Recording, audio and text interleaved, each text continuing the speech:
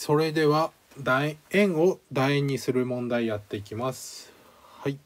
入試とかよく大学の一番初めのえーと、試験ですとか結構いろいろこの問題出てきますね。はい。円 x2 乗プラス y2 乗イコール1を x 軸を元にして x 軸は構わずに y 軸方向に2倍した楕円の方程式を求めよう。という問題です。はい。まずこの問題を解く前に楕円の復習をしときましょう。はい、x2 乗プラス x の2乗プラス b の2乗プラス y の2乗イコール1で楕円の式は書けましたね。はい。で図で書いてやるとよいしょこんな形になってちょっと絵がやばいですね。はい。で A ここの A は図で言うとここの長さを表してます。B の長さはっていうとここの長さを表してます。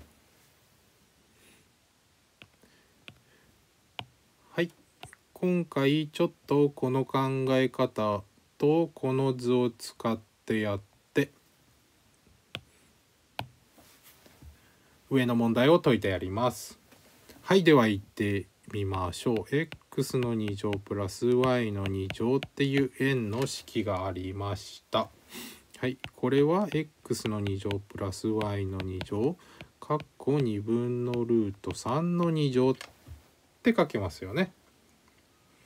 はい、式変形してやりましょう。両辺2分のルート3の2乗で割ってやると個2分のルート3の2乗プラス y の2乗分の2分のルート3の2乗。で書けますよね。はい、絵で書いてやると。よいしょ。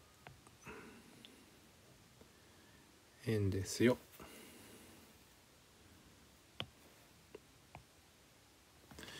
x 軸方向2分のルート3ちょっと軸の名前 y 軸方向2分のルート3ですね。はい。で今この y 軸方向を2倍してやった楕円の式を求めなさいっていう問題になってます。絵を先に書いてありましょうかね。こんな絵になりますかね。Xy で2倍したものなので4ルート3になりますね。この長さが4ルート3で x の方は今回構ってないのでそのまんま2ルート3ですね。はい。あとはここの楕円の式に代入してやれば楕円の式の完成です。では式に入れてやりましょう。x の2乗。2分のルート3の2乗。プラスごめん2乗ね。Y の2乗。分の4ルート3の2乗。イコール1、うん、できれいにしとくと2分の1の2乗を4416 6×3 8 48かな。46×3 y の2乗イコール1はいこのようにして楕円の式が求まりました。図で楕円の方程式を求める。